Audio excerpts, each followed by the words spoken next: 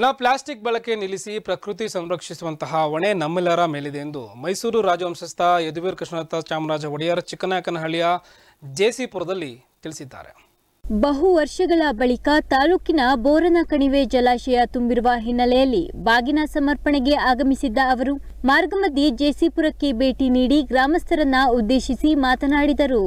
ಈ ಗ್ರಾಮ ಹೇಗೆ ಮರ ಗಿಡಗಳಿಂದ, ಕೆರೆ ಕಟ್ಟೆಗಳಿಂದ ಉತ್ತಮ ಪರಿಸರ ಹೊಂದಿದೆಯೋ ಅದನ್ನು ಹಾಗೆ ಮುಂದಿನ ಕಾಲಕ್ಕೂ ಉಳಿಸಿಕೊಳ್ಳಬೇಕಾಗಿದೆ. ಇದಕ್ಕಾಗಿ ನಮ್ಮಲ್ಲಿ ಬದಲಾವಣೆಗಳನ್ನ ಮಾಡಿಕೊಳ್ಳಬೇಕಾಗಿದೆ ಎಂದರು.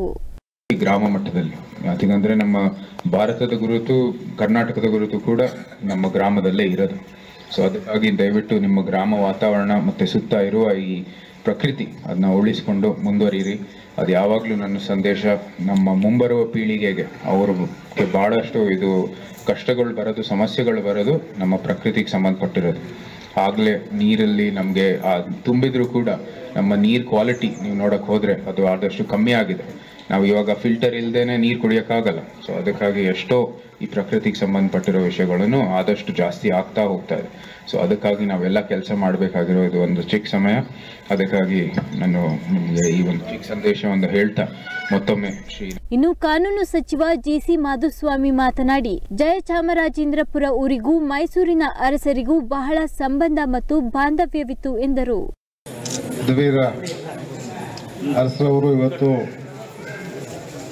ನಮ್ಮ ಗ್ರಾಮಕ್ಕೆ ಬಂದಿದ್ದಾರೆ. ಅವರ ಮುತ್ತಾತ ಕಟ್ಟಿಸಿದಂಥ ಬೋರನ್ ಕಣಿವೆ ಜಲಾಶಯ ಬಹಳ ವರ್ಷ ಆದಮೇಲೆ ತುಂಬಿರೋದ್ರಿಂದ ಅದಕ್ಕೊಂದು ಭಾಗನ ಅರ್ಪಿಸ್ಬೇಕು. ಹೋಗ್ತಾ ದಾರಿನಲ್ಲಿ ಇಲ್ಲಿ ಬಂದು ಹೋಗಬೇಕು ಅನ್ನೋ ಅಪೇಕ್ಷೆ ಮೇಲೆ ಅವ್ರು ಬಂದಿದ್ದಾರೆ. ನಿಮ್ಗೆ ಗೊತ್ತು, ಈ ಊರಿಗೂ ಮೈಸೂರು ಅರಸರ ಮನೆಗೂ ಭಾಳ ಸಂಬಂಧ, ಬಾಂಧವ್ಯ. ಈ ಕೆರೆ ಅವ್ರ ತಾತ ಕೃಷ್ಣರಾಜರ ಹೆಸರಲ್ಲಿಟ್ಟಿದ್ದೀವಿ. ಊರು ಜಯಚಾಮರಾಜಪುರ ಅಂತೇಳಿ ಒಡೆಯರ ಹೆಸರಲ್ಲಿಟ್ಟಿದ್ದೀವಿ. ಹಾಗಾಗಿ ಭಾಳ ವರ್ಷಗಳಿಂದ ಅವಿನಾವ ಸಂಬಂಧವನ್ನು ಅವರು ರಿನ್ಯೂ ಮಾಡ್ತಾ ಇದ್ದಾರೆ ಅಂತೇಳಿ ನಾನು ಭಾವಿಸ್ಕೊಂಡು ನಾನು ಹೆಚ್ಚು ಮಾತಾಡೋದು ತುರುವೇಕೆರೆ ತಾಲೂಕು ಶಾಸಕ ಮಸಾಲಿ ಜಯರಾಮ್ ಮಾತನಾಡಿ, ನನ್ನ ಜೀವನದಲ್ಲಿ ಮೊದಲ ಬಾರಿಗೆ ಮಹಾರಾಜರನ್ನು ಭೇಟಿ ಮಾಡಿರೋದು ನನ್ನ ಪುಣ್ಯ ಎಂದರು.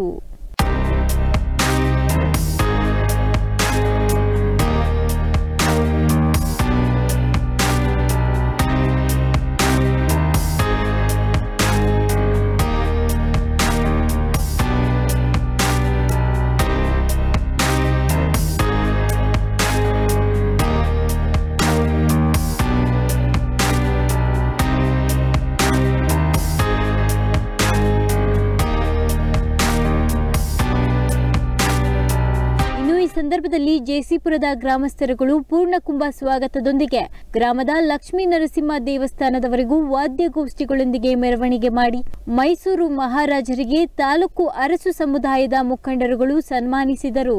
ಚಂದ್ರಶೇಖರ್ ಅಮುಕ್ ಟಿವಿ ಚಿಕ್ಕನಾಯಕನಹಳ್ಳಿ.